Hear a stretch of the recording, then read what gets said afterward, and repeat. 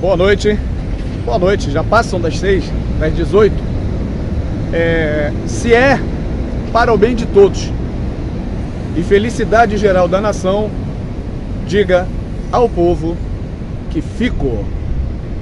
Esta frase, certamente você já leu a respeito ou já ouviu falar. Ela foi proferida por Dom Pedro I quando abdicou do trono de Portugal e permaneceu no Brasil.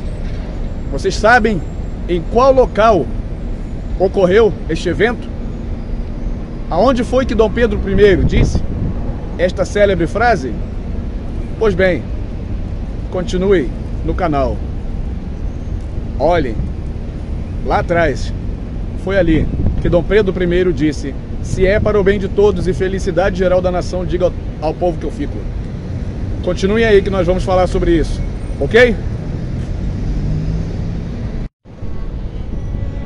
O Paço Imperial é um edifício histórico localizado na atual Praça 15 de Novembro, no centro da cidade do Rio de Janeiro.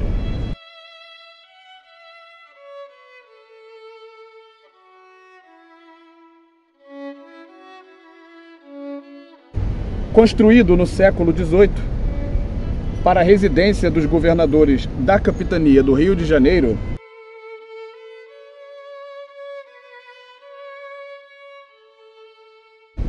passou a ser a casa dos despachos, sucessivamente do vice-rei do Brasil, do rei de Portugal, Dom João VI, e dos imperadores do Brasil, sofrendo algumas ampliações no século XIX. Atualmente é um centro cultural pela sua importância histórica e estética. O Paço Imperial é considerado o mais importante dos edifícios civis coloniais do Brasil.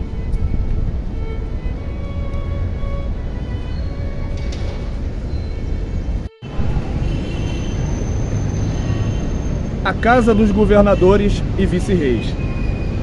A história do edifício começa no ano de 1733.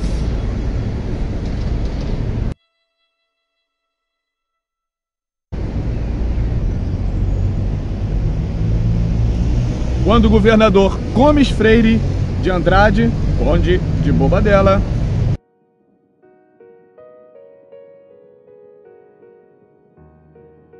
pede ao rei Dom João VI a licença para edificar uma casa de governo no Rio de Janeiro. Retificando, ele pediu ao rei Dom João V.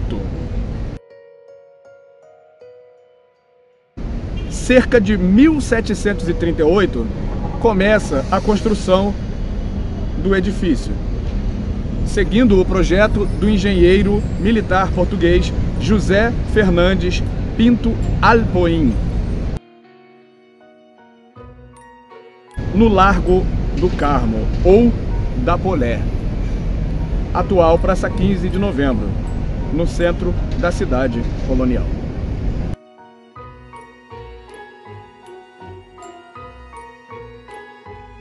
A nova Casa dos Governadores foi inaugurada em 1743. Aproximadamente na mesma época, o Largo sofreu outras intervenções urbanísticas importantes, como a construção das casas de Teles de Menezes do lado oposto ao passo. Vamos ver?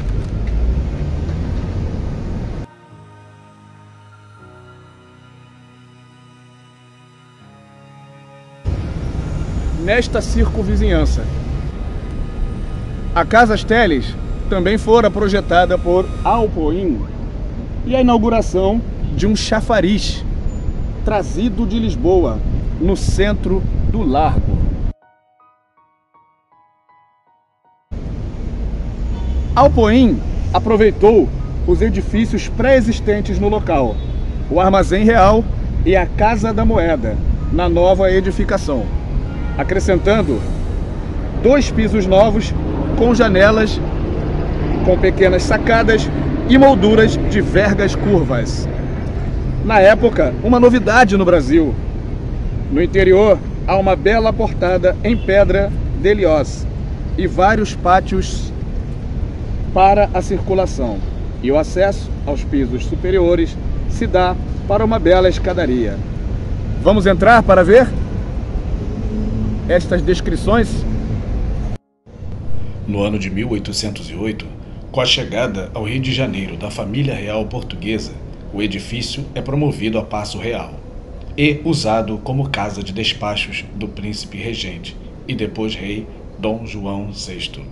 Nessa época, o Passo sofreu obras de adaptação, tendo sido acrescentado um novo andar central à fachada voltada para a Baía de Guanabara.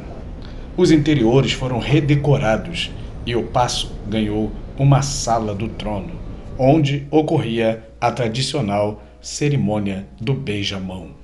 Também se construiu um passadiço ao vizinho convento do Carmo, onde se instalou a rainha Dona Maria I. Para a aclamação do rei Dom João VI, foi construída a varanda, um anexo monumental entre o passo e o convento do Carmo, onde se realizou a cerimônia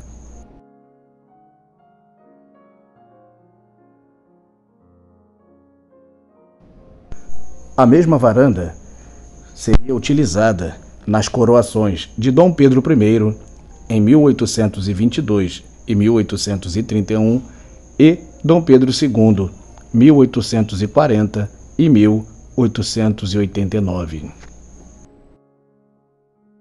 sendo demolida ainda durante o segundo reinado. Após a independência do Brasil, o edifício passou a Paço Imperial, sendo chamado também de Paço do Rio de Janeiro, funcionando como despacho e residência eventual para Dom Pedro I e depois para Dom Pedro II. No interior há uma sala, o Pátio dos Arqueiros, que ainda mantém a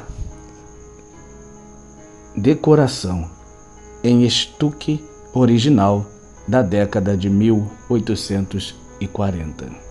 Neste período, a fachada recebeu o acréscimo de uma platibanda em torno do terceiro andar e que ocultava o telhado. Foi no passo que, a 9 de janeiro de 1822, Dom Pedro decidiu ficar no Brasil e não voltar a Portugal. Também foi numa das salas do passo que a princesa Isabel assinou, dia 13 de maio de 1888, a Lei Áurea, libertando os escravos.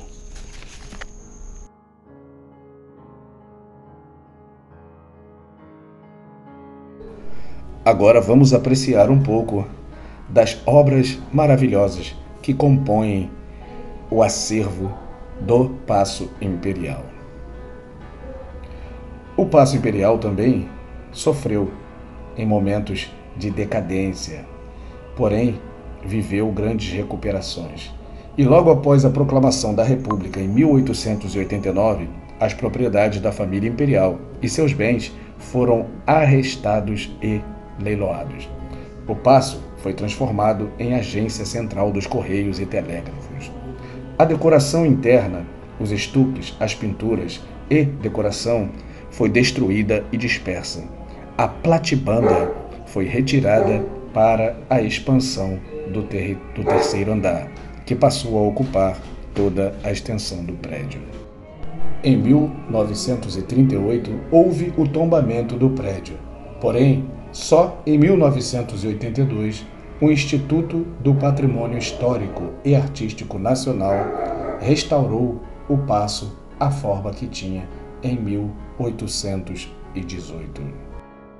Atualmente, o Paço Imperial é um centro cultural onde ocorrem mostras dos mais variados tipos de pintura, de fotografia, de escultura, de cinema, de música e etc.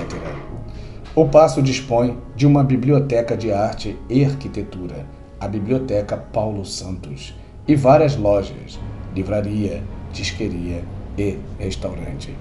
Vamos continuar apreciando as magníficas obras deste acervo do Paço Imperial.